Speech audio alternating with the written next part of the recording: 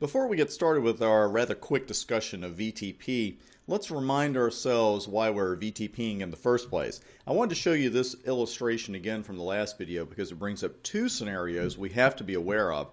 One of them, of course, we talked about was filtering VLANs. It looks like a great idea to filter VLAN 30 traffic going from this switch to this one until we saw this one added to the network. We can't filter VLAN 30 traffic going across this trunk because then this switch would never get it. Another thing we have to be concerned about is letting these middle switches know about the existence of VLANs that they themselves are not members of. They have no ports in those VLANs. The problem would be then if you didn't do that somehow, if this switch sent, uh, excuse me, uh, frames destined for VLAN 30 and sent them to this switch, which has hosts in VLAN 20 only, that switch is just going to look at that frame and say, I don't know VLAN 30 from a hole in the ground. You know, I'm just going to dump these. There's no reason for me to send them out any of my other trunks. So we've got to have some way of letting all of our switches in our network know about all the VLANs in our network, and we're going to do that with the VLAN trunking protocol. As I mentioned, we're not going into a tremendous amount of detail here on VTP. For one thing, there isn't a lot of tremendous detail, which you'll probably be glad to hear. I'm going to um, give you enough information to make you dangerous, and it's my job to make you dangerous for the exam. This will certainly help you do that.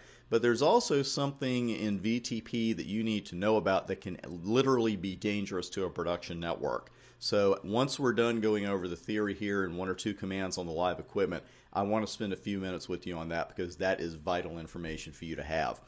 Now again, VTP just allows our switches to have a consistent view of the switch network because it allows switches to advertise VLAN information between other members of the same VTP domain, hintity hint hint. That's really important. VTP is not on by default, and when you start it, on a switch, the first thing you've got to do is define the domain. I mentioned this on the next screen as well, but that name is case sensitive. You really got to watch that. Lowercase CCNA, uppercase CCNA, two separate VTP domains. We have summary advertisements with VTP. There's not a tremendous amount of overhead because a VTP server is only going to send one of those advertisements every five minutes and it will also do so immediately when there's a change in the VTP database when it finds out that a VT, uh, excuse me, a VLAN has been deleted or added, something like that. Now notice I said a VTP server. We actually have three different modes. The first one is server mode. VLANs can be created, modified, and deleted in server mode. And by modified, mostly we mean you can name it. Um, when these actions are taken, the changes are advertised to all switches in the VTP domain.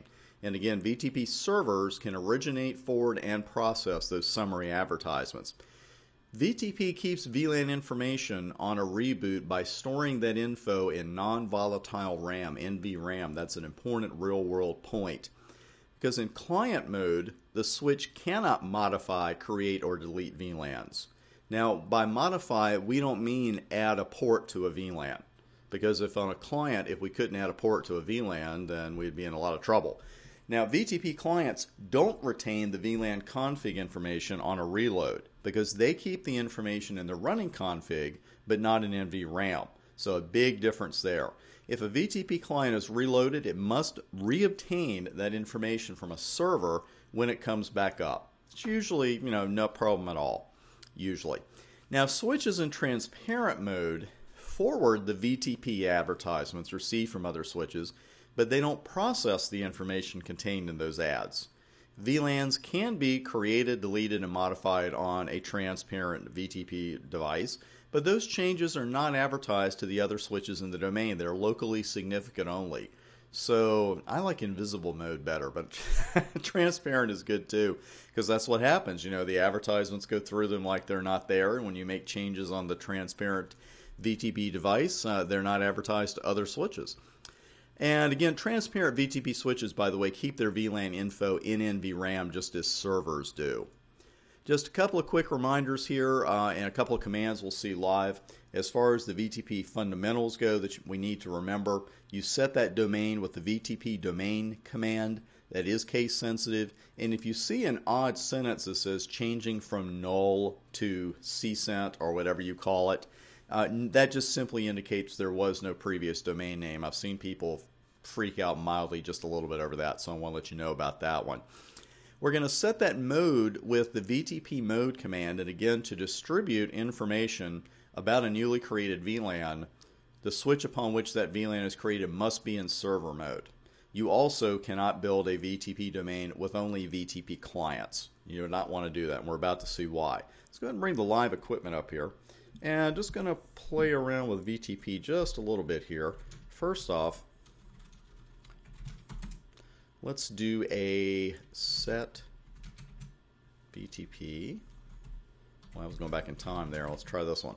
VTP domain. It's just the ASCII name for the VTP advertising domain. Administrative domain. We'll call it CCNA. I had it set to CCNP, so no problems there. And let's run a quick show VTP status. This is really the show command for VTP. As you can see, this is not a complex protocol at all. It's not something that you that you even debug. You rarely need to do that. I am running version 2 on this particular switch. There is a VTP version 3 that has some cryptographic properties. It actually allows you to hide a password you can set because version 2 unbelievably does not allow you to do that. Uh, but 2 is fine for our practice because what I really want to show you is this configuration revision number. This is very important. Notice it's at zero right now. And with the other information here, you see we've got seven existing VLANs, operating mode server, domain name CCNA, everything else, V2 mode and pruning mode we're going to save for future studies. So right now, let's just go ahead and create a VLAN and see what happens. I'm going to do it in an odd way, but just with VLAN 233. And I'm going to save that. Do a show VTP status. So now I'm going to save that. Let's see what happens. Notice this configuration revision number went up to 1. We're going to talk about that in just a moment.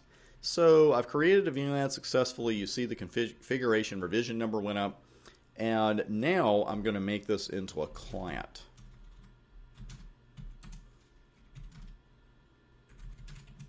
There are the three choices. We're going with client this time. And now, let's create another VLAN. And you see that you can't do that. You are going to get a message explaining to you the VTP VLAN configuration not allowed when device is in client mode. So it can lead to an odd scenario where you could have, say, a switch that was a client and for some reason you couldn't change it and if that's going to be the only switch with ports in the VLAN, you would actually have to go to a server and create the VLAN somewhere else and then come back and put ports in the VLAN on that client switch. It's it's a little bizarre, I grant you that. Uh, it's not a real world situation you're going to run into very often. But let's go ahead and change that back because I'm about to tell you about a real world situation you will run into sooner or later. So I've set it back to server I'm going to create another VLAN. And you'll notice that configuration revision number went up. In a nutshell, here's what that is. It is a way for the switch to tell if it has the latest information on VLANs or if an advertisement that's being received from another switch is more recent than the information the local switch has. And what happens is there's just a quick comparison of the configuration revision number and if it is if the configuration revision number is higher on the incoming advertisement than it is the one set on the local switch, that advertisement is accepted and it's used to overwrite the local switch's VTP VLAN information. If an advertisement comes in and the config revision number is lower than the local configuration revision number, then the switch says, okay, the information I have is much more recent or more recent, therefore I'm going to ignore this incoming advertisement. Sounds pretty innocent, right?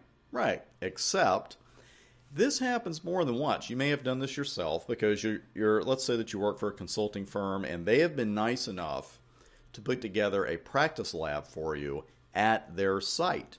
It Could be CCNA lab, couple switches in it, CCNP lab, C, uh, CCIE lab, doesn't matter. It's got some switches in it. Well, sooner or later, you're going to have a client that, say, uh, loses a switch and it's a vital piece of equipment and there's no new ones sitting around anywhere. So at that point, your firm is just desperate to find a switch somewhere, desperate enough to start asking their own people, you know, do you have a switch at home in your lab we could use?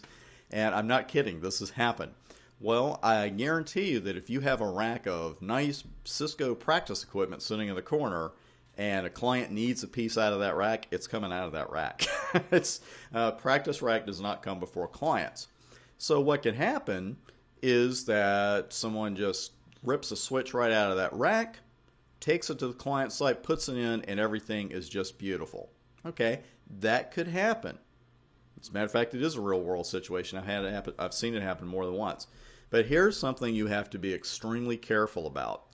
Of course, the odds that your practice rack is using the exact same VLANs as your client is very, very low.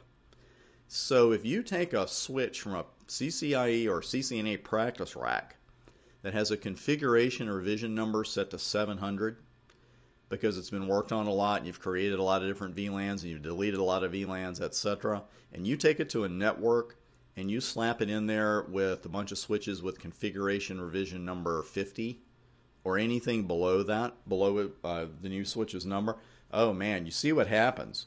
That new switch that came out of the practice rack, its advertisements are going to be accepted by all of the other switches in that network.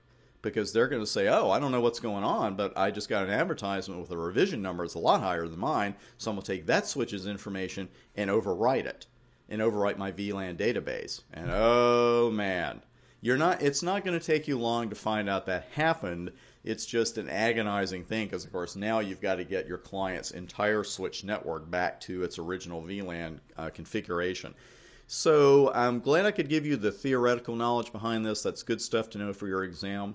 But with VTP, this is something you got to know. You've got to reset this config revision number to zero when you are taking a new switch, an old switch, or any kind of switch and putting it into a client site. If it's a new switch, I mean, I mean straight out of the box, you're seeing it come out of the box, etc. That's beautiful. But if you're taking, you know, you could just take it from another client network. You know, uh, I would ask them, but it doesn't matter where it comes from. If it's been in a network, practice or otherwise, you need to nuke that config revision number down to zero. Now, it is not necessarily as easy as doing a write erase. Unfortunately, we have to draw the line somewhere, uh, and I can't go into all the details of how you knock that revision number down. But Cisco's got a couple of best practices you can find very quickly. So if you want to do a little extra homework, I think that's a great idea. But if you are ever taking a practice lab switch and putting it in a production network, that is homework that you really need to do. That concludes our discussion of VTP, both uh, theoretical and real world. I'll see you on the next video, and we'll wrap this section up.